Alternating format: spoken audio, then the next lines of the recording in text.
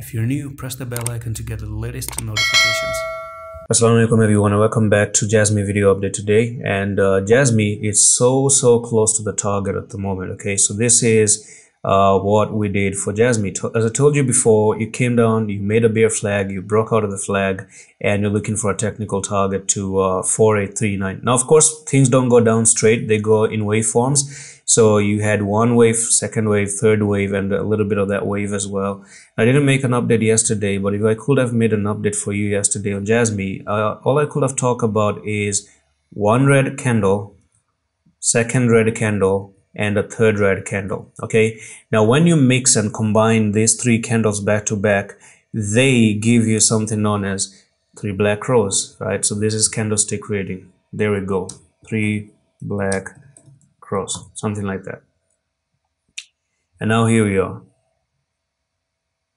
so from from all these uh, three black crows at the moment that you see that's the reference picture right over here three red candles mean that the, the prices can continue to go down another three three red candles means that the prices are going to continue to go down and you have something like this as well so this is what i'm expecting from Jasmy three red candles, a little bit of a green, and then continue lower. So it, it actually perfectly matches that, uh, you know, that picture that I just showed you. And I do have a trading course. If you want to learn more, do check the link is in the description. Message me on Twitter to get a discount. Message me on Twitter to get a discount. I'm actually going to try to uh, sound like a salesperson. Get your copy of the trading course and get a discount.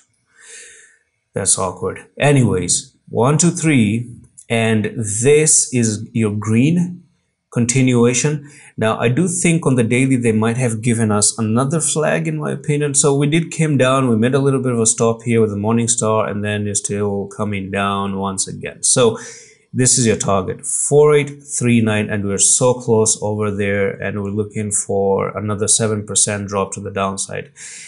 Now is this channel helpful to you?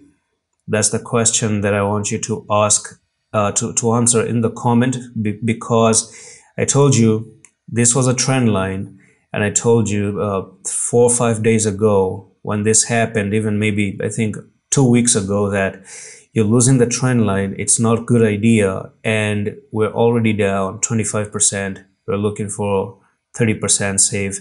And I don't think we're going to stop there because I told you that I think we're looking to come down to the lowest part of the RSI once again. We need an oversold level. So coming down here doesn't really seem like it's going to be the end. It seems like we're still going to continue lower.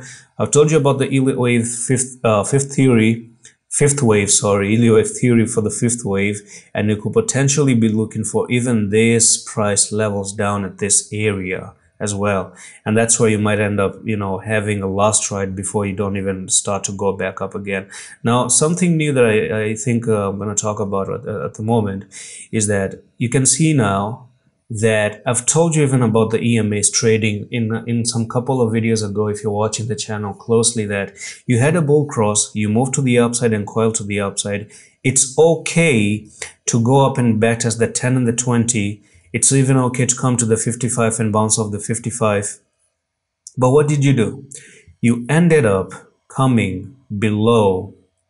It seems like we are getting the, the biggest dump is actually getting started potentially because what you're about to make here is a bear cross just like you made a bull cross right over there.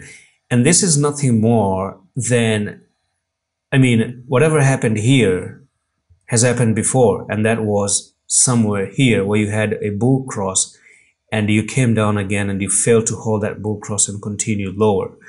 Made a bull cross, came up, come down, still failed to maintain that cross, and you might continue even lower. So I'm just giving you a warning. It's nothing, no financial advices here. If anything changes, I'm doing the updates daily, so we're going to get to know before time. Got you covered, hopefully, and I'm going to see you in the next one. Allah Hafiz.